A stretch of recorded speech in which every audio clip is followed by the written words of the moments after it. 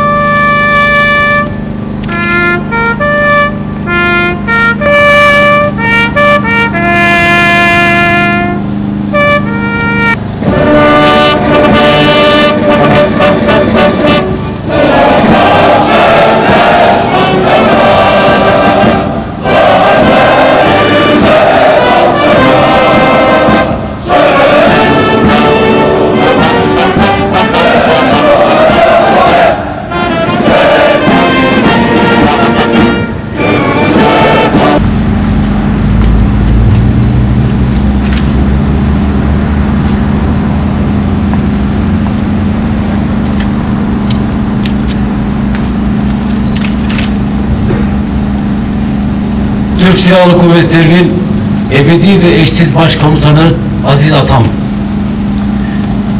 Eşsiz askeri dehanız ile bütün olumsuzluklara rağmen Türk yurdunu acımasız düş- düşman çizmelerinden kurtararak en büyük eserim dediğiniz bağımsız, demokratik, laik Türkiye Cumhuriyeti'nin kuruluşunun nedeni olan 30 Ağustos zaferinin 85. yıl dönümünü kutlamanın gurur ve heyecanı içinde bugün bir kez daha huzurundayız.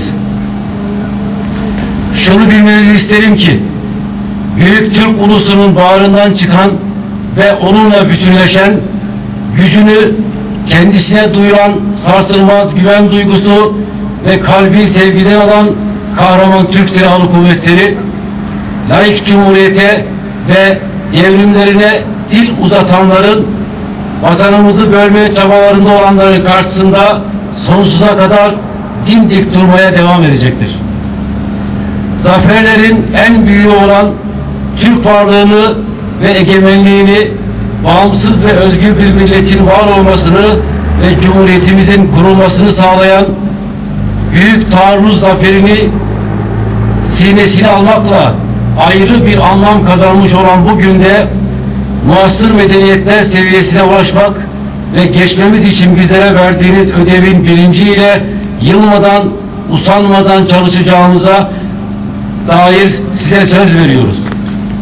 Yıkılmış ve toprakları paylaşılmış bir imparatorluğun enkazı altından yüce Türk ulusunun esaret tanımaz mizacının ve sarsılmaz iradesinin desteğini alarak içteki gafil ve hainler ile dıştaki ebedi düşmanlarımızı sükutu hayala uğratıp kutsal vatan toprakları üzerinde bağımsız Türk, Türkiye Türk Cumhuriyeti'ni kurarak bizlere emanet eden siz büyük önderimiz ve aziz şehitlerimizin ruhları önünde saygıyla eğiliyoruz.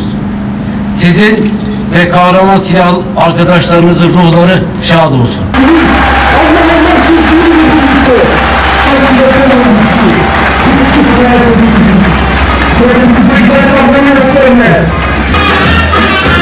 Cepheye çeşitli elimizden tutan genci ülkeleri düşmanla savaşmak için gidiyordu. Giden önce yaptığı yıkan kendini, sonra koydu. Elbise ülkeye muhtacı. Mermi kızı sancıkları patronuna. Saman saman koluyla cepheye mermi taşıdı.